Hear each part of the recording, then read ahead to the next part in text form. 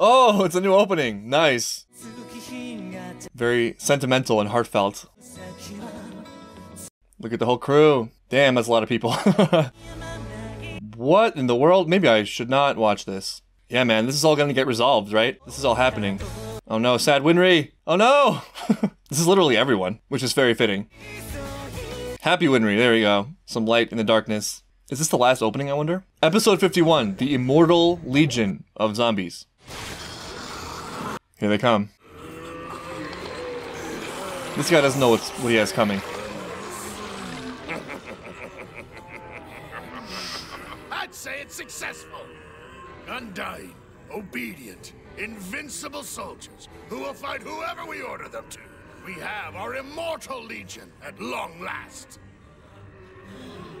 Papa! Indeed, yes, I am your No, you're not. son. Not even close. And now, I want you to You are not the one. closely. There are many Oh no, it's starting. They want to take us over. You men have a job to do. Yeah, I mean, what were you thinking, dude? Come on. You had that coming. They're like even more zombie like than I thought. They're just straight up zombies. Headshots, headshots, headshots only.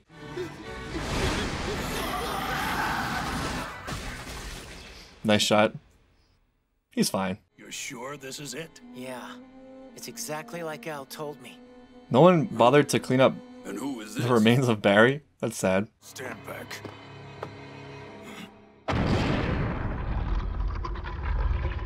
Ah, it's open.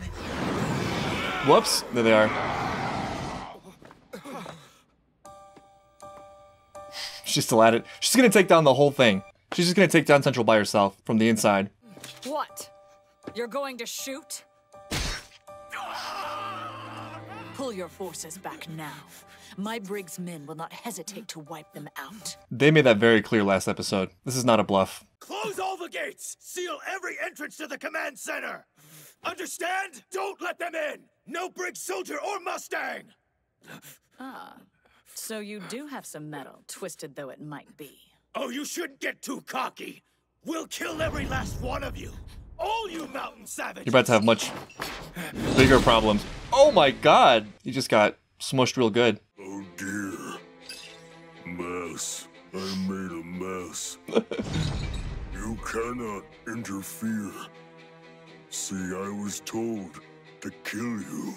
Yeah, this is the one thing I was thinking about that actually could turn the tides. Because all of these Central soldiers are such chumps. Although props to that guy for actually standing up against Armstrong, because that is just suicide. So it's pretty clear that Armstrong and Mustang's crew could just come in and like roll everyone over. But there's the homunculi. Well, I guess there aren't that many around. It really is just Sloth, right? But there's also Father, who's got to be a beast, like an absolute beast. It's kind of cool that it's Armstrong who meets Sloth again, because she's already dealt with him once, right? So they have kind of a history. Although I don't think Sloth cares too much about that.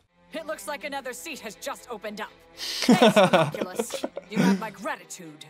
This sword was passed through the Armstrong family for generations.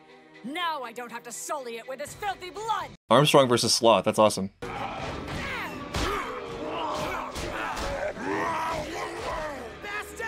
I love how they're like getting through the zombie apocalypse through punching. Oh, what? You can just destroy their material, no? I mean, Scar just tried that, but.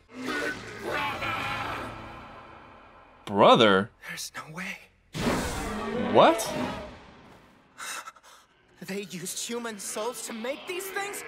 Looks like something major. Yeah. Word is, Mustang's leading a coup d'etat. This won't turn out pretty. There, there, now, sweetie, please don't cry. Yeah, so the more I see, the more I think they are focusing on that intentionally. The perspective of Amestrian seems important. Even though, to my memory, we haven't seen that much of that yet, it seems like they're sort of building that up now, where public opinion is going to be important. How could they even think to create these monsters? Well, it looks like we'll just have to plow through them so we can get to that bearded bastard. Take these things down! But how, though? Mustang is fleeing in an ice cream truck. that is that is accurate, actually. Be on the lookout.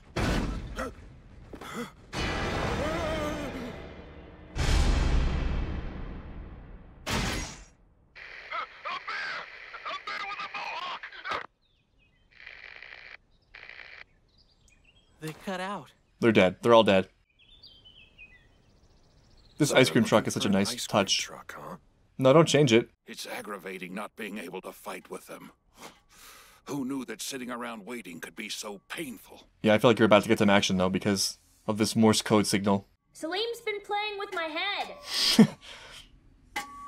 Yeah, he's not playing. I guess Al doesn't know Morse code. Whatever else he might be, he's still just a little kid. He knows. Yeah, there you go. Stop him, Alphonse! Stop him from making that sound! Dot dot dash! It's code! He's sending out a signal!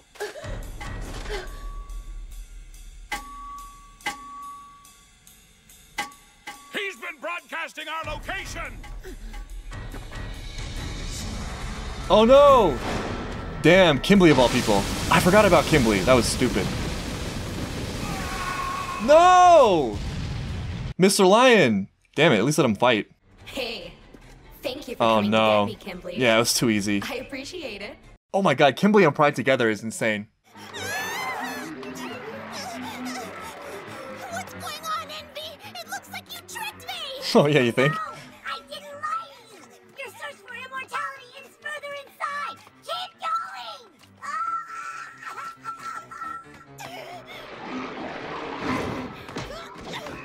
Whoa. Damn, she's good. I like that little bottle catch. Again.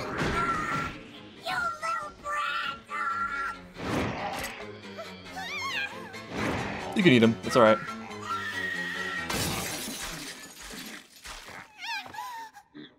What do I feel like this is gonna give Envy a body? Yeah.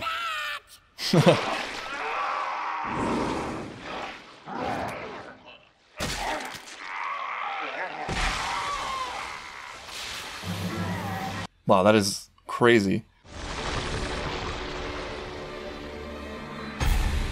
Oh no, I thought we were done with Dinosaur Envy.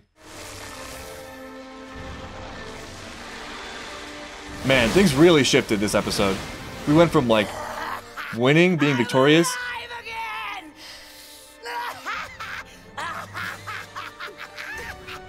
Mei Chang. To having two homunculi come back and Pride teaming with Kimblee. And the zombies too. We're gonna need a bigger ice cream truck or the help of Madame Christmas, one or the other. But that's actually great, right? That's what you want. I want everyone we know to be here and be involved, including the villains. I mean, the villains in this show are spectacular. And it's weird because on some level, I like them. You know what I mean? I'm glad Envy's back and I'm glad Pride is back. And it's so exciting in like a really dark and terrifying way to think of the Pride Kimblee duo. Those are the two characters I feel the most fear about, and they're they're paired up now. Though for reasons I can't explain, I feel like Kimblee is in danger there. I could see Pride and Kimblee not getting along because of their personalities. I could see Pride destroying Kimblee for some reason. We have to tell Al. Wait, please hold on. What happens if somebody discovers that you're Dr. Marcoh? I don't care. We can't just sit here and do nothing. Dr. Marcoh, the ultimate hero. You ate gluttony? It was Your crazy. own kind? Yeah. It's not like it's cannibalism. We are a collective. We were both born of the same father. And now we've gone back to being one form. So that's how it works, huh? Mr. Heinkel! Okay, still alive. I'm not looking good though. Oh? Still alive. What a pity. No, no, just move on. Then you Move are a on. chimera. The life force is strong in you. Mr. Heinkel! Damn it! Let me go! This is crazy for Al too. not going anywhere. Why you? Al's good. I don't know if he can win this. Why bother fighting?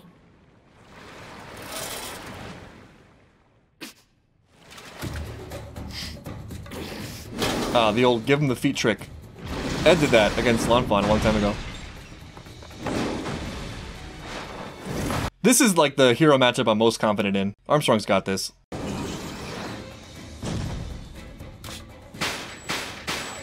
That's not it though. Such a pain. What's that? Not even a pain. I should have known that wouldn't work. That's far enough, General Armstrong. We have our orders. Just let him fight. To shoot you for the traitor you are. Take aim, man. Fire!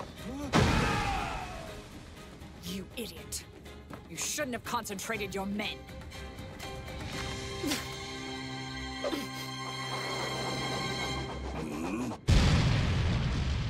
Yeah, he's taking cannon blast though, so.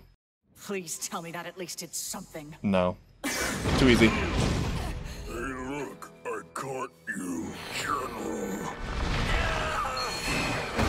Yes! There you go. Hello, sister! Are you alright? Damn, that was one of the best entrances so far. And the explosion. A homunculus. Bullets don't work on him.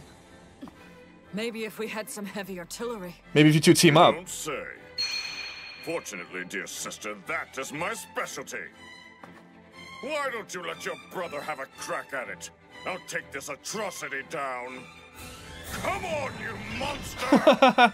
Man, Armstrong versus Sloth. what? Another Armstrong versus Sloth.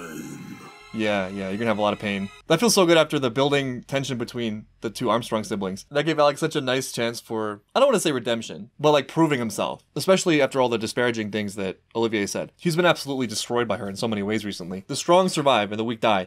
He just saved her life, and he's really showing up. But the other thing is, this is something that we really need for his character because of his conflict about not doing what he felt was right, or not being on the right side, or quitting, or whatever during the Ishvalan War. So he needs that opportunity to come back and actually do some something great. And beating Sloth, or fighting Sloth at least, that would be a lot. That would be a whole lot. And they seem like a really good pairing too. Just leave me. Get out of here. Listen to me. Go. He has no legs. We're facing Kimblee and Pride both. Yeah, pretty much the ultimate team.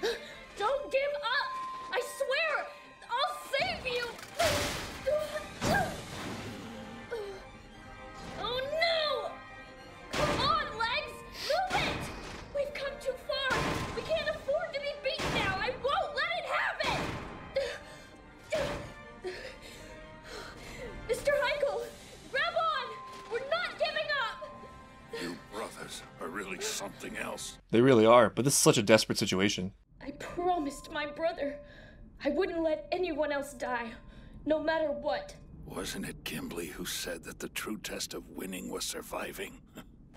Which reminds me, I have something that might be useful.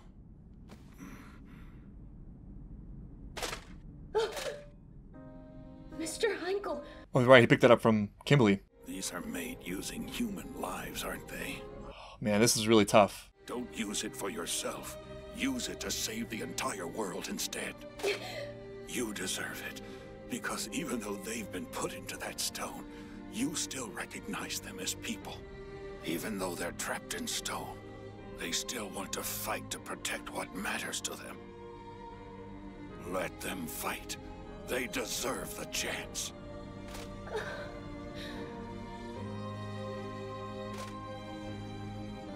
all right. Now you give them hell for me. Damn, out of the Philosopher's Stone. We'll fight. Together. Wow, it's crazy for Al to have the Philosopher's Stone. I got sort of mixed feelings about it because it feels like using the tools of their enemy. Mr. Lion makes a really good case, and it's perfectly reasonable for Alphonse to use the Philosopher's Stone in this scenario up against the two baddest villains ever. But there is something a little bit weird about it. I can't help but wonder if there's like a danger there. It feels sort of like using the dark arts, you know, using the using dark magic against the dark magic users. But Al is definitely the purest of pure hearts. So if anybody can use it well, it'll be him. But those considerations aside, I'm really excited to see Alphonse wielding that kind of power. And without his legs, how can he possibly escape? His hat again. How many hats does this guy have? Good. Of course, Kimblee likes it. There Damn, upgraded Al. Very well done, Alphonse Elric. He looks awesome. Aw, new end credits. I sure hope there'll be a rainbow at the end of this story, because I can see there being a lot of tragedy. Hopefully, no crying Winry. The next time Winry cries will be tears of joy. Right? It's such a great idea. Having it be Al, who is one of the biggest points of conflict for Pride, because they're total opposites. Pride is Pride, right? Al is just this humble, pure, beautiful thing. And Al has rarely been the one to step up into confrontation. In a way, he's kind of peaceful. He's sort of anti-confrontational, but he's anything but weak. In fact, I think he's one of the strongest characters in terms of like his spirit. And so I have no doubt that Al being pushed to the limit like this, or having to make a stand, will be glorious. It's this ultimate light versus darkness moment. And I like how even Kimblee took notice of that. Kimblee's like, good Al, you know, like that's great, man. Stand up, do your thing. Because you cannot say Al is not convicted. You can't say he doesn't have beliefs, and you can't say he's not consistent. Like he literally gave his body for Mr. Lion. The other thing I really love about this episode is the Armstrong save. The Alex Armstrong save of Olivier Armstrong. So I want him so badly to have a moment because he's such a beautiful character. Like I love him so much, but he's kind of gotten a rough deal in the series so far. He's a little bit too sweet for the world, it feels. And so I get similar feelings about him standing up that I do about Al standing up. Not only are they great people and really sweet people, but they can handle themselves and they can show up when the moment's right. And the extra special thing about Alex showing up is that it's in front of Olivier, who has treated him pretty badly. But it almost doesn't matter in light of the situation. So there's so much potential for both of these scenarios. Among all the other scenarios, I mean, that's what's so great about this whole thing is like there's just so much going on. But I'll have to wait and see how it plays out. So that's the end of episode 51. I'll see you guys next time when we continue the the epicness, the epicness that is all these crazy situations.